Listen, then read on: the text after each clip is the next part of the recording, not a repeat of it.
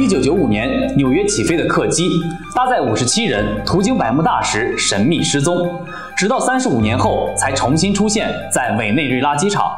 机长却称飞机仅飞行了三个小时，这是怎么回事？一起进入今天的故事。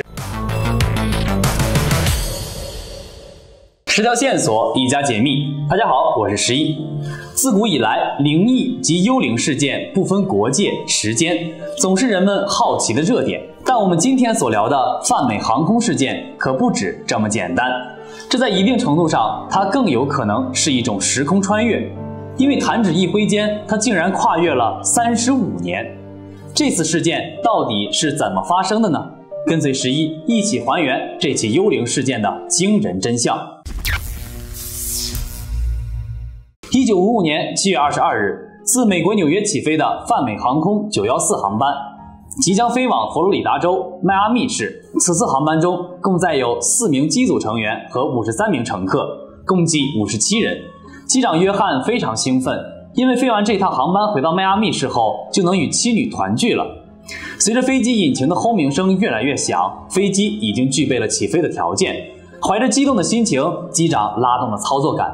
飞机顺利起飞，此刻塔台传来送别语：“九幺四航班一路顺风，平安归来。”本次航班之旅拉开了序幕。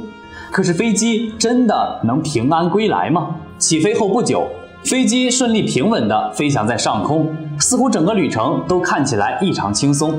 虽然在飞行期间遭遇过几次气流颠簸，但都被飞机平稳地度过了。此时塔台的雷达中显示，飞机的小点依旧在不停地闪烁。但这种安静祥和的气氛并没有持续多久，随着时间跨度的延长，不到半小时后，这趟航班竟然奇异的消失了，带着机组上的全部五十七名乘客悄无声息的消失在雷达的视线范围内。地面的塔台工作人员看到这一情况后，瞬间慌了神，赶紧用无线电呼叫九幺四，但另一头却传来一片忙音，没有任何声音出现。此时的地面塔台将全部的信息都搜集起来，准备联系搜救部门开始营救。正当搜救工作正在紧锣密鼓的进行中时，却依然没有任何进展。那么，搜救队发现九幺四的踪迹了吗？关注十一，我们继续往下说。九幺四航班消失了三十分钟后，救援队就已经出发，但是经过一天的地面和空中的沿路搜寻，都没有找到这趟航班的踪迹。更没有探寻到黑匣子的踪迹，如此诡异的失踪让航空公司和美国当局都措手不及。现在唯一的办法就是加大搜寻力度，但是经过联合搜寻队多天查找，几乎查遍了航线的每一个空白区域，就是没有找到任何与九幺四航班相关的痕迹。眼看着空中查找无望，会不会是坠落了？接下来地面搜索再次加大搜索范围。值得注意的是，此次航班当中包含了一段大西洋的航线。这段航线的凶险程度难以想象，但是正因为当日天气晴朗，此次航班才出发。说这段路途凶险，主要是因为大西洋中存在着骇人听闻的魔鬼——百慕大三角。这段航线特别凶险之处，主要存在于大西洋中。古往今来，凡被它的洋流卷入的过往船只，十有八九都会变得无影无踪。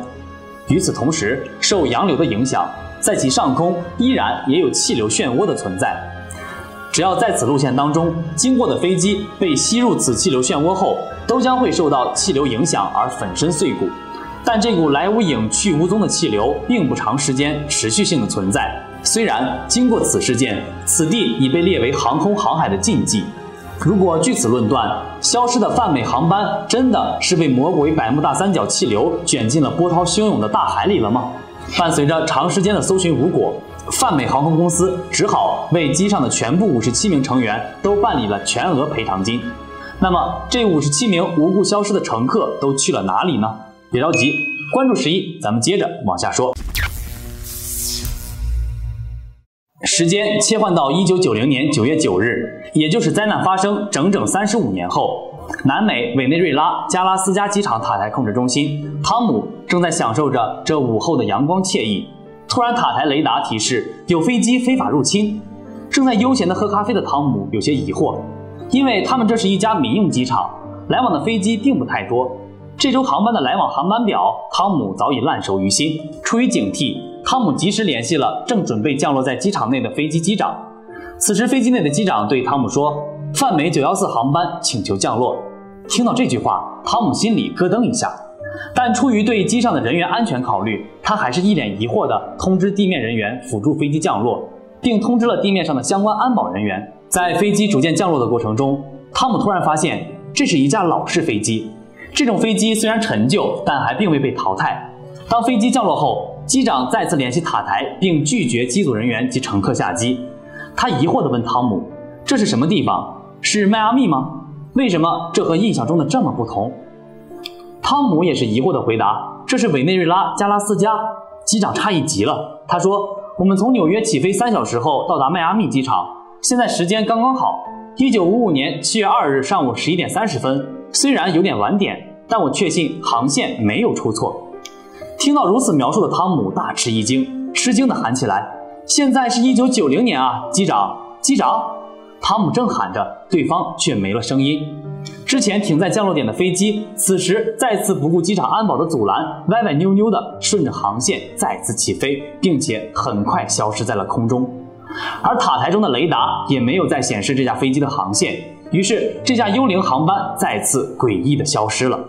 此时，汤姆只觉得后背一阵发凉，这种特别的感受就像刚刚见到了幽灵一样。尽管此时晴空万里，天气炎热，汤姆还是从头冷到脚。那么，这架声称泛美914航班的客机为何突然出现又消失？它到底是不是当年消失的泛美914航班呢？关注十一，我们接着往下看。想要破解这起奇怪的空难事件，十一先带大家一起来梳理一下泛美914航班事件的整个时间线。此次时间发生的节点共有两个，一个是一九五五年，另一个是一九九零年，这期间相差三十五年。要知道，当时飞机飞越大西洋时，可能遭遇的不是一般的气流。因为如果是一般的气流的话，就很难解释为什么恰好在半小时后飞机就迅速消失的现象。最终，经过现代先进的技术探查后发现，其实，在大西洋附近有个遗骸存放点，这个地点常有船只残骸以及飞机遗骸，也是坠毁飞机的主要存留地点。这个地点其实距离百慕大并不远，虽然一直被猜测与泛美914航班坠毁有关。但限于当时的技术能力有限，危险区域并没有经过详细的搜寻，因此，如今虽然能够探查有遗骸存留于此，但并没有实质上的证据，因为此地常有气流和漩涡，坠入的遗骸也都在此慢慢的腐烂，多年来已经产生了大量的沼气，而且这些特别的沼气在经过发酵以后，已经慢慢的成为了海底当中一种特殊存在的气流。如果船只在此遭遇到气流，将会瞬间被惊涛骇浪所吞没，成为现有海底残骸中孤独的一员。飞机也如此，在沼气上升的过程中，飞机遭遇到沼气上升的气流后，会在飞机的快速划过过程中点燃沼气，而导致飞机迅速发生爆炸。此时的飞机也将会被炸得面目全非，毫无生还的余地。基于这一点，泛美914航班很有可能在飞越大西洋时就已经损毁。那么这趟诡异的幽灵航班又是怎么回事呢？其实，在查验过泛美航空公司后，就不难发现这个谎言的漏洞。因为泛美航空公司早在1990年就已经宣布破产了，这期间飞机航班更是被如数淘汰掉。而关于恒定在1955年那个起飞的日子，虽然当时泛美航空曾经很辉煌。但是，据调查，在五十年代至七十年代，泛美航空公司只经营海外业务，并没有经营美国政府管制之下的国内航空业务。美国国内航线由联合航空公司、西北航空公司、大陆航空公司等运营，一直到一九七九年，美国解除空运管制法案，泛美航空公司申请国内航线的申请才得到批准。由此可见，从一九五五年纽约飞到迈阿密的航班，其实是一种博人眼球的谎言。而这次的泛美航空幽灵事件就成为名副其实的无稽之谈。当谎言被戳穿以后，是无尽的叹惋与怀疑。但其实深究起来，推动这种谎言成为现实的，却是我们对未来领域的探索和好奇。正是这种好奇的存在，才让我们的科技发展和进步成为了一种新的可能。好了，今天的视频就到这里了。经过以上详细的分析，你认为关于泛美航空事件是一个谎言，还是美国当局对时空穿梭存在的隐瞒呢？欢迎给十一留言，我们一起讨论。最后别忘记点赞和关注哦，我们下期再见，拜拜。